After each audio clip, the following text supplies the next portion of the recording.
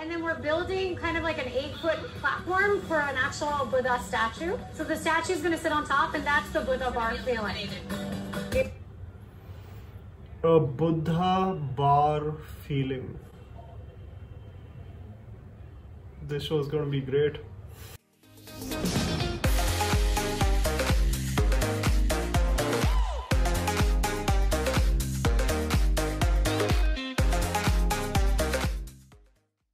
One of the subscribers sent me a personal message and told me to check out the three episode documentary series called The Big Day that released on Netflix this Valentine's Day. Your boy is a single lonely man who is addicted to watching content for work, so I took the plunge of trying to understand what all the hype is about. The wedding industry in India is worth close to $50 billion that has circumvented its way to even thrive during the pandemic, with much more intimate events. But you all know peers from your circles who were having massive bashes even when the pandemic was at its prime. That's how obsessed and connected we all are for these occasions. They represent gatherings of friends and family to celebrate the union of two people. What is undeniable, however, is that the Indian wedding also represents what kind of an impression you can create with people, depending on the quality and the size of arrangements you have done. While I would like to believe that millennials and the Gen Z aspire to do more intimate events, events that are catered to them rather than creating an impression to impress people that you may not even care about, I think we will be naive not to acknowledge the shosha and khatirdari that it is in the blood of many Indians. So it was justified that a show will be created in order to showcase what really goes down at Indian weddings. Little did I know that I was on a trip down a rich NRI privilege bubble for most of these episodes. As the minutes of the series passed by, I realized that the rich and influential in society couldn't care less of making the event about themselves. In contrast, they actually are the caricatures of the Veere Di wedding father and mother, who want the couple to sit on a make-believe moon so that Pinky Auntie from Punjabi Bagh and Simone Auntie from Maharani Bagh can boast about it in their kitty parties. The three episodes follow specific themes, and I'll tell you exactly why I have so many mixed feelings regarding this show and what it represents, and not surprisingly, what is the real intention of creating it in the first place. The first episode has to be the most nauseatingly privileged and disconnected episode of the three. It focuses on two heterosexual couples that get married in Jaipur and Chennai, respectively. Most of the families describe themselves as coconuts, as they are brown from the outside but white from within, as they migrated to foreign countries at a young age, and the children, while Indian, grew up pretty much American.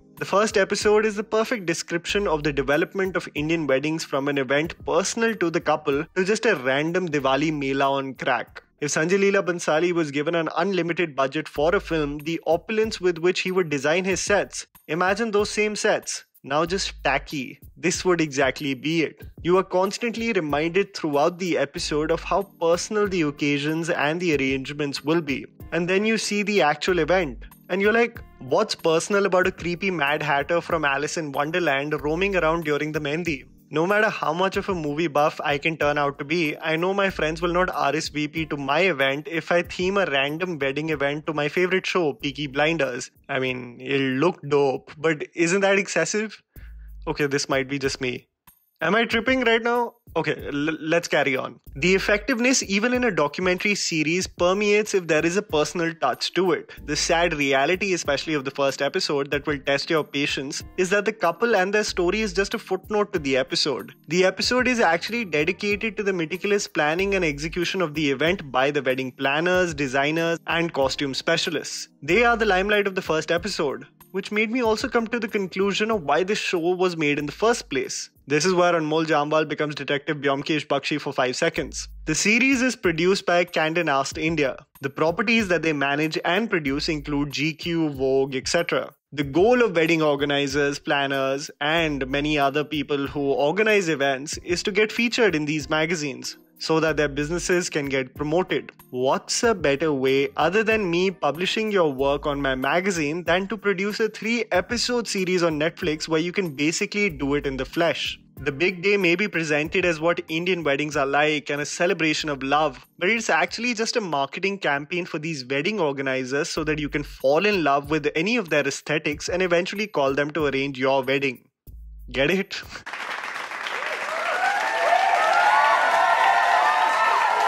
Okay, coming back to this irritating episode. You know, whoever has international friends who know very little of India, they tend to ask the most surface level questions about the country. I remember going for my exchange program to Germany and them simply being blown away that I could speak in English. It's funny how one of the couples, while being Indian, are as ignorant as those foreigners. You can literally take a shot each time one of them says the word spiritual in connotation to coming back to India. It is constantly stated that they want to reconnect to their roots with their wedding, but end up designing the event with Fabergé eggs and Victorian designs. What's Indian about this in any way? The 8 foot Buddha statue next to the bar for a Buddha bar vibe and an entrance that looks like the Temple of Doom from Indiana Jones just makes it 10 times more cringier. The other wedding, while still rooted in sourcing from the locals to employ people from that very location, is still tolerable. But I couldn't stop laughing at this photograph as it perfectly represents an Indian man's introduction to the white man of what India is all about. We put on the hat of the perfect host while they mockingly do Bhangra to feel marginally Indian. I mean, honestly, who am I to judge what you're going to do with your own money for your own event? You do you. But for me, as the show is about how weddings are organized, there is no focus on the blue collar workers who are actually doing the physical labor of organizing the events. Most of the show presents the wedding organizers as the stars, while the people arranging the food, setting the shamianas, and convoluted structures are just mere montages to the show. Weddings provide employment to these workers, and their perspective would have been interesting as well. The last straw of this episode was when I saw Terence Lewis create a parallel to the wedding event as he performed for the couple. Stage show. Think of it like a award ceremony. Think of it the Oscars. It's like the works. The second episode is still levels above what episode 1 could not do. Pique my interest. And I think this is an episode that the modern woman of India will really connect with because it focuses more on the personal and Indian traditions than the surface level arrangements of the event. It represents the modern Indian woman that not only has agency but takes charge of what exactly they want for their wedding. Labeled as bridezillas or problematic, it's just women being clear about what they want. This is also the point why Twitter India would also have a field day by labeling the show anti national because it also questions the patriarchal proceedings at weddings, especially the Kanyadan, which represents a shift of responsibility from the girl's family to the boys, which many women think is an archaic practice as if commodities are being traded. The episode also is poignant as it sheds light on the different thought processes of generations, where one is taking charge and is clear of what they want. The elders are learning to accommodate to these thought processes which were once considered considered to be blasphemous. Also, it's important to acknowledge that majority of Indians don't have the privilege to have such free and independent thought that can take up a social cause and apply it in practice while the family is understanding of their beliefs. By the way, you can still take a shot every time a foreigner or an NRI says the word spiritual. The episode at least brought up the discussion of what the events even represent.